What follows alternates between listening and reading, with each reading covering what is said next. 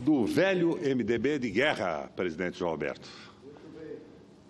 Presidente, eu queria um, um copo d'água aqui na, na bancada, por favor.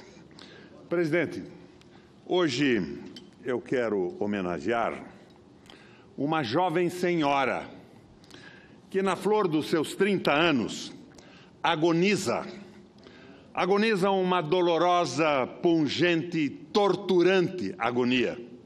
Asfixiada, manietada, os membros dilacerados e decepados, o sangue esvaindo-se, a jovem senhora não haverá de resistir por mais tempo e logo adiante poderemos anunciar a sua morte. Hoje quero glorificar uma jovem senhora que, quando nasceu, trouxe-nos tanta esperança, fez-nos sonhar com uma vida melhor, com uma vida plena de justiça, de igualdade, de harmonia, de prosperidade e de paz. Hoje, quero honrar uma jovem senhora cuja concepção, gestação e nascimento custaram sangue, dor, exílio, desespero, amargura e aflição. Hoje quero reverenciar e enaltecer a Constituição de 1988. A nossa Constituição, presidente João Alberto, a que Ulisses Guimarães chamou de cidadã, é sobre esta jovem brasileira, hoje em agonia excruciante, que vou falar. É o meu requiem, a minha palavra, o meu cadiche, as minhas excelências para uma jovem à morte. No entanto, é impossível falar da Constituição Cidadã sem se referir ao documento que a inspirou, a sua matriz, lançado seis anos antes, em 1982. É o documento do nosso partido, Esperança e Mudança, que o PMDB, ainda com as características de uma frente uma frente de partidos propôs ao país para a reconstrução de uma república democrática, nacionalista e popular. Não seria impróprio afirmar que nos 36 anos decorridos do lançamento do documento Esperança e Mudança, nenhuma outra agremiação ofereceu ao país um programa partidário de tal alcance e solidez, resistente ao tempo. Está tudo lá.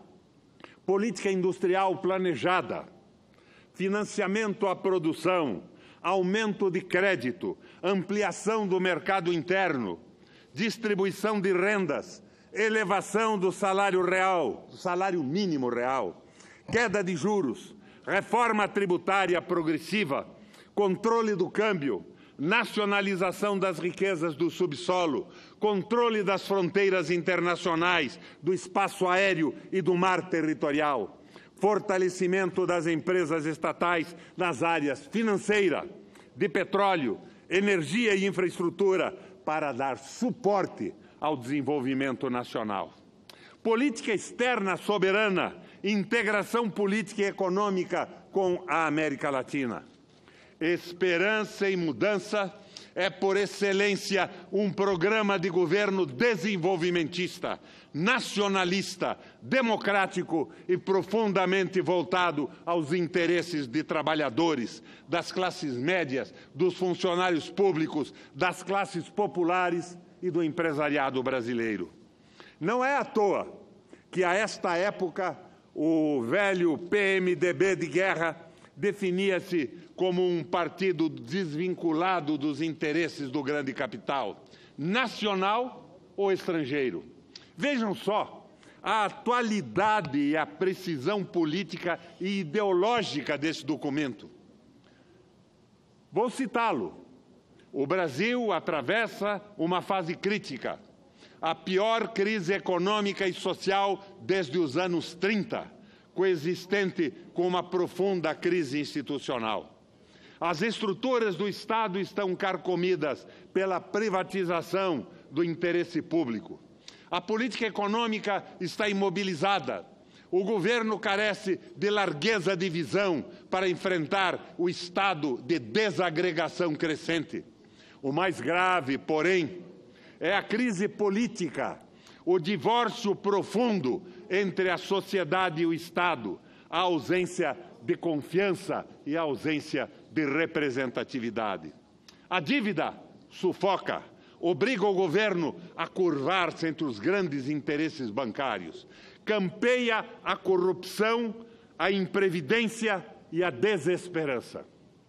Diante disso, sigo citando Esperança e Mudança, o PMDB propõe o planejamento democrático como forma de estabelecer e garantir que o conjunto de políticas públicas obedeça a prioridades fixadas democraticamente.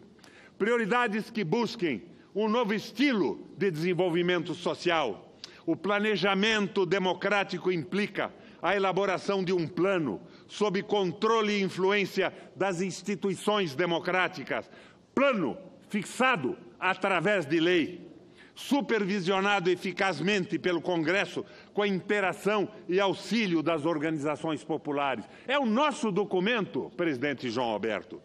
As principais medidas desse plano são essas: a distribuição de renda começa com uma nova política salarial começa com a elevação da base dos salários, com o aumento real do salário mínimo e com uma reforma justa para a Previdência Social. É o nosso documento, presidente João Alberto, esperança e mudança. É preciso conter a alta contínua do custo de vida através de uma política anti-inflacionária eficaz. A distribuição de renda e da riqueza nacional também não virá de maneira progressiva e irreversível, sem grandes reformas sociais e institucionais. Não virá sem uma reforma agrária que garanta o acesso à terra e reorganize a vida rural, criando uma agricultura eficiente com população rural livre e próspera. Não virá sem uma ampla reforma tributária que elimine as enormes injustiças do atual sistema de impostos, que gravam muito pesadamente os assalariados de baixa renda, enquanto que as classes privilegiadas pagam parcelas insignificantes de seus rendimentos. É o programa Esperança e Mudança do velho MDB de guerra. Não virá sem uma reforma financeira que democratize o crédito, com taxas de juros baixas, acessíveis aos consumidores de baixa renda. Não virá sem uma reforma fundiária urbana, uma verdadeira política urbana que regularize a situação de milhões de favelados e que coíba a especulação imobiliária. A atualidade desse documento Esperança e Mudança, desse extraordinário documento, avança mais ainda com a proposta de uma estratégia de desenvolvimento que, abro aspas, liquidasse a especulação parasita sustentada atualmente pela dívida pública interna. É o documento base do meu velho MDB de guerra.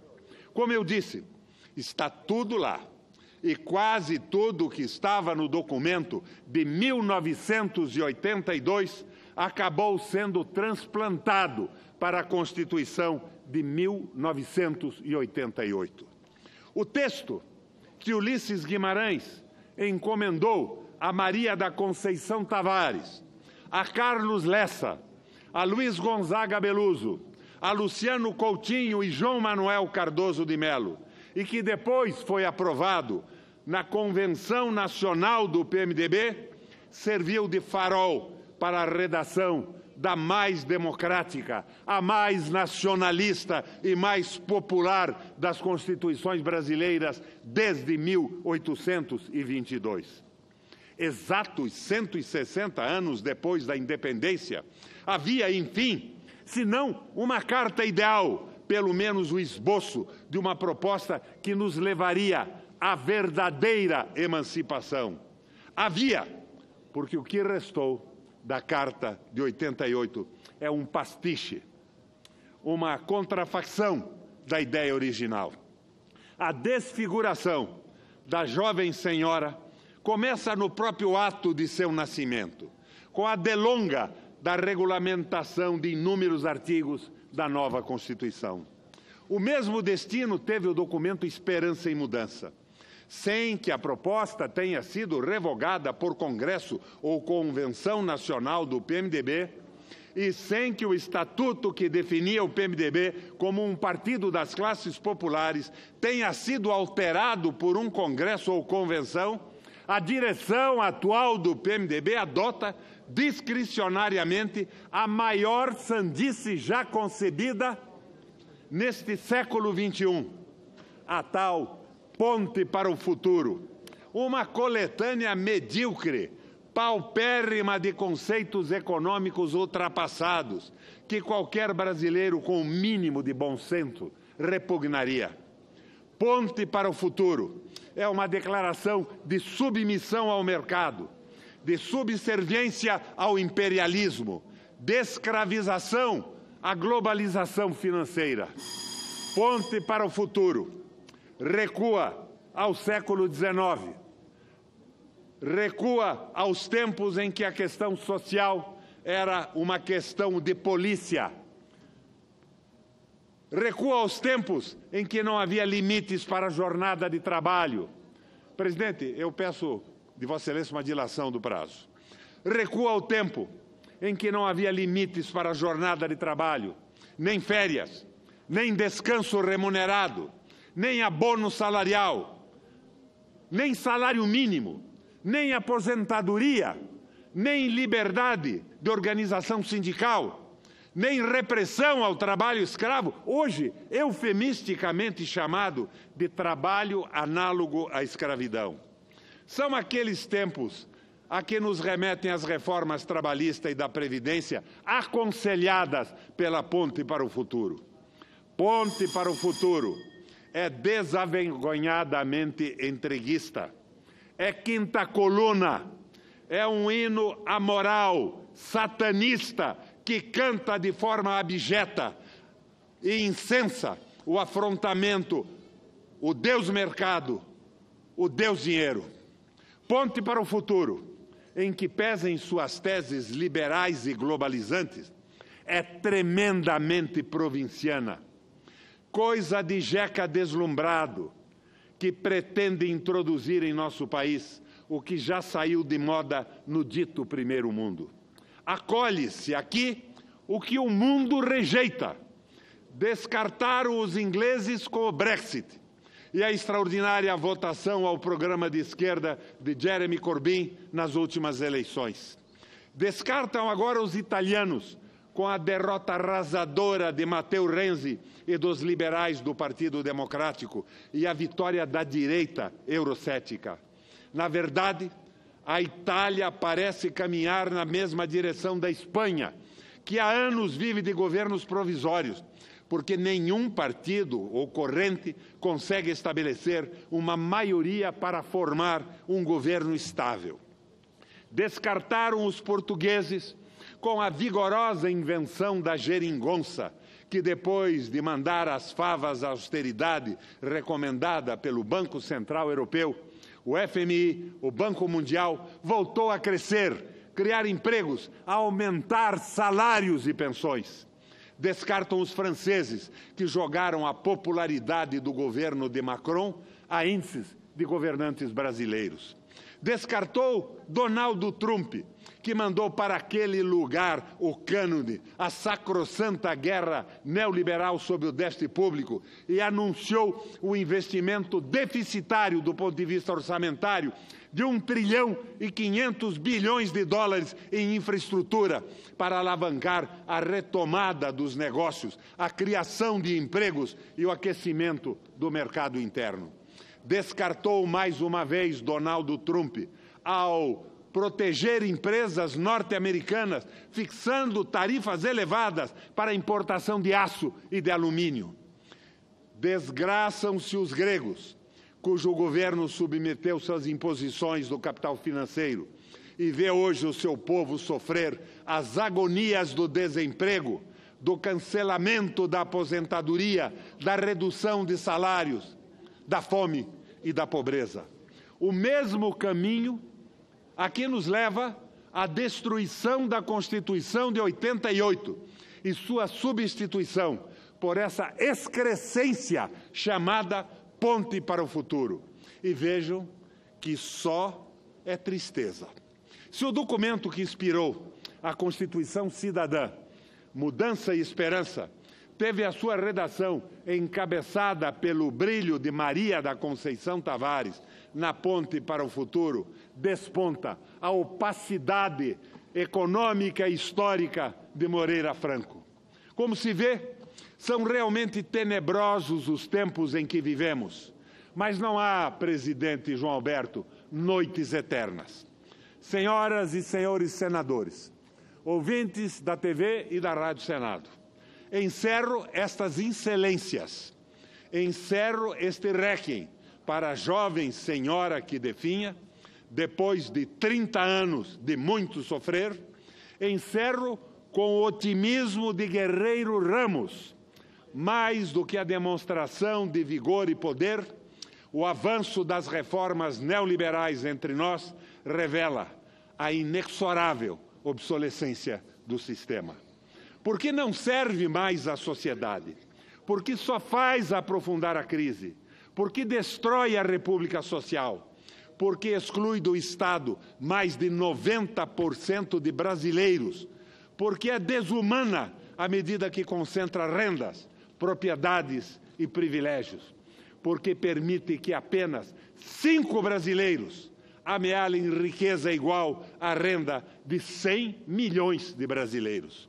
Porque nunca, ao longo da história do homem sobre a Terra, sistema assim injusto, com grau tão elevado de violência social, jamais sobreviveu por longo tempo. E em sua hipertrofia está a semente de seu fim porque da decadência irresistível do velho nasce o novo.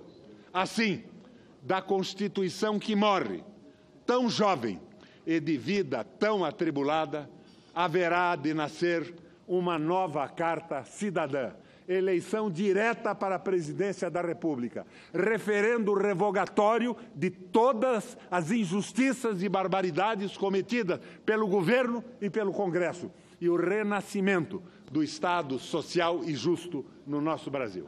Obrigado pelo tempo, presidente. Eu que agradeço a Vossa Excelência, senador Roberto Requião. Ordem do dia. Senadora Ana Amélia, pela ordem. Pela ordem, senadora Ana Amélia. Obrigada pela sua